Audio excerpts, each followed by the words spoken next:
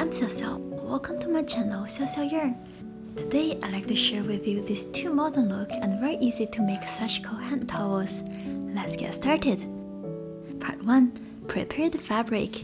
Both the hand towels I like to make today are 50 centimeters in length and 34 centimeters in width, with double layers of this very soft and water-absorbent Japanese fabric, Sarashi. It's the same as how you prepare the fabric for Hanafukin, except that you want to fold the fabric and measure 50 centimeter, mark an extra 3 centimeter, then cut and sew.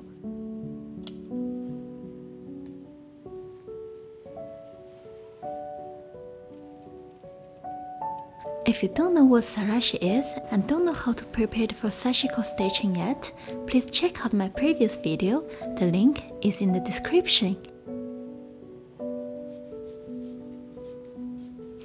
This is your finished stitching fabric.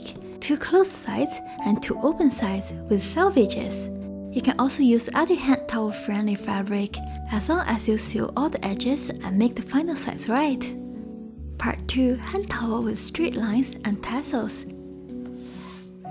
To draw the pattern, let's start by folding the short sides into half. Mark the line and mark two lines relatively 1 cm above and 1 cm below it. Then mark one line 1 cm to the edge and two lines every 1 cm above. Same on the other side. Find the middle point and draw three lines here too.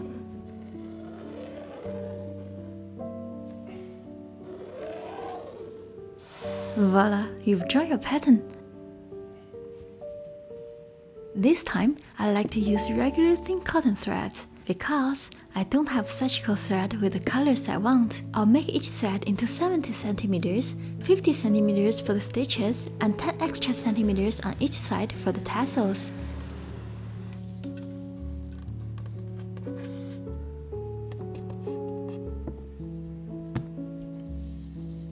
One,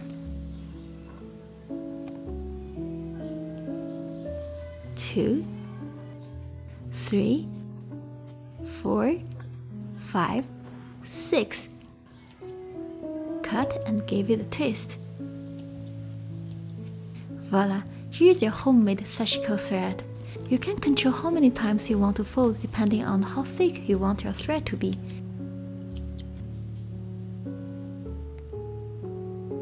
Now let's sew. Leave your thread without a knot. You want to start with the middle line to avoid fabric distortion and let's start our stitch from the back.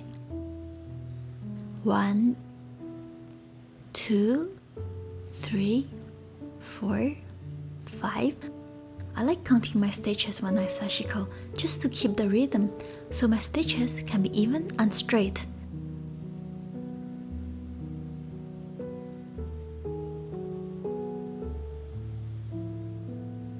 When you collect enough stitches, push your needle with a thimble and pull the fabric.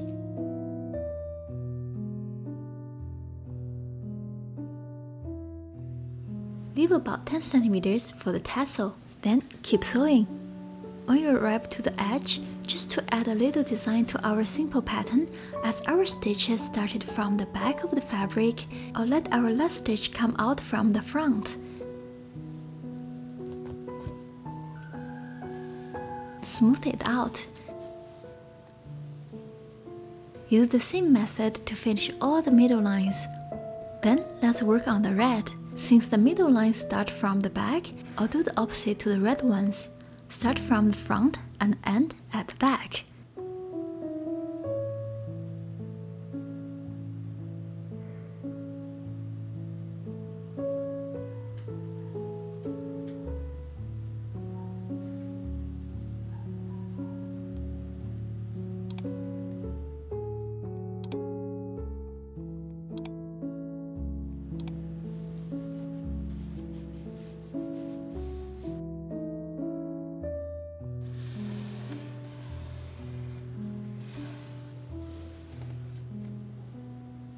Same for the blue lines. Start from the front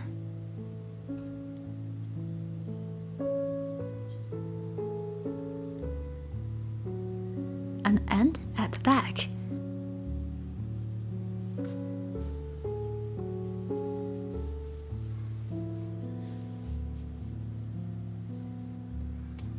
Sometimes you may find that your stitches are not that perfect, but don't worry, imperfection is also perfect as long as they're your own stitches.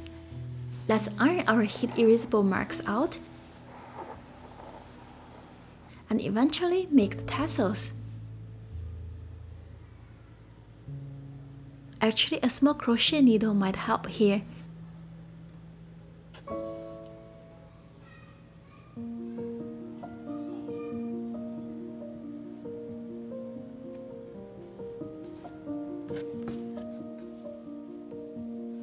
Finally, let's cut the tassel to the same length.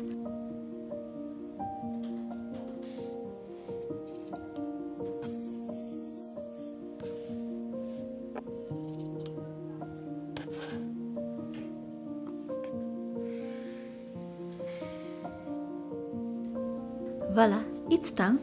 How do you like it? Let me know by leaving a comment. Part 3 Marutsunagi Linked Circles since the size of my stitching fabric is 50 by 34 centimeters, I'll use this 8 centimeter in diameter circular template, so I can put 6 circles on long side and 4 circles on the short side, and leave about 1 centimeter space on each side. You can download the circular template if you don't have one, link is in the description.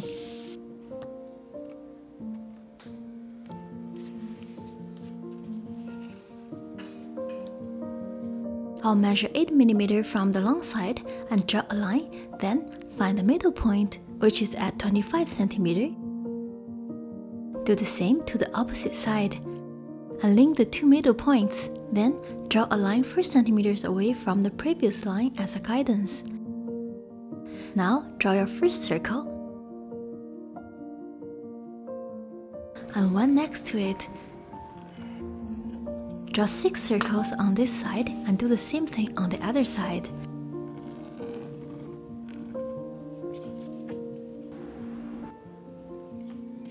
For the short side, you want to find the middle points and draw a line, then draw two circles.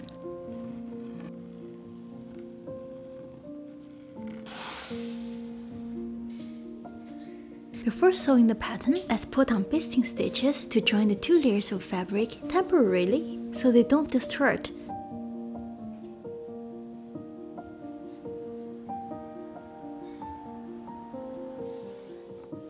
Trick of sewing Marutsunagi and many circle sashiko patterns is that although the pattern is made with circles, when you sew it, you want to follow a curved line like this, instead of doing it circle by circle, because this is the most efficient and thread-saving way. I'll start with 3 circles. I'll need 8 times 3.14 times 3 plus an extra 15 cm, about 90 centimeters of thread.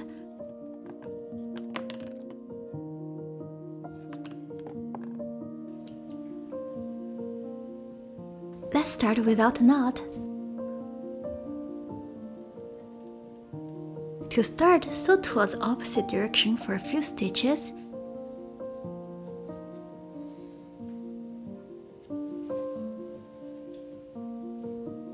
Turn your fabric around and enter your needle between the two stitches and sew towards the plant root, overlapping the existing stitches from the back layer only.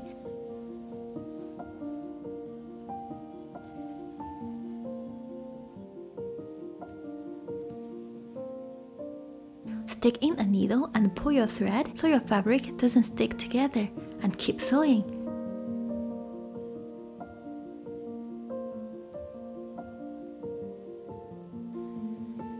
Here, as mentioned, instead of following the circle, you want to follow the curve.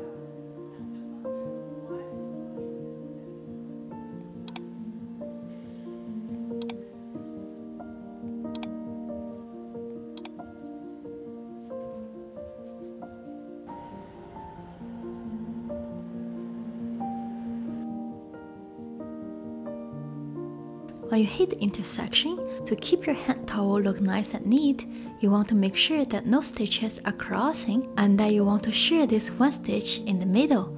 To do this, make a stitch close to the middle stitch. Then, make another stitch from the back layer only. Pass your needle between the two layers, crossing the middle stitch and come out from the front side.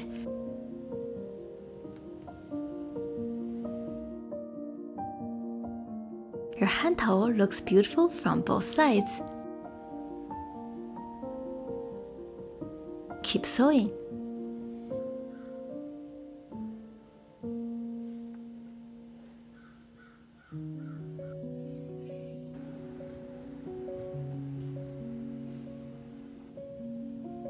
When you finish, you just need to return your needle for a few stitches, same as how you started. Make sure you pass your needle through the back layer only, and then hide the tiny tail by passing your needle between the two layers.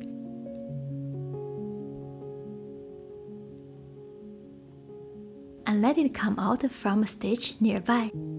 Use the same method to finish the whole hand towel.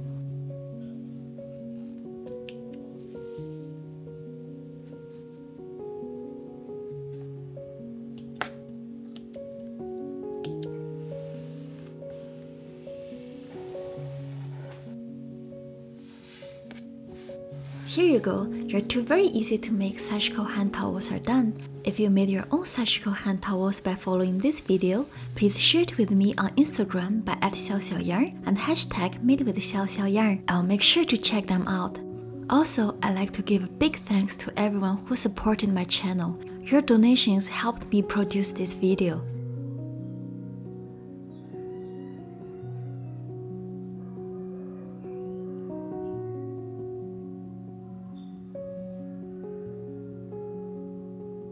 If you find this video helpful, please like, share, subscribe, and leave a comment. Please do consider a donation by clicking the super thanks button under the video or the support my channel link in the description. This will help me produce more quality videos like this one. Happy stitching, see you soon!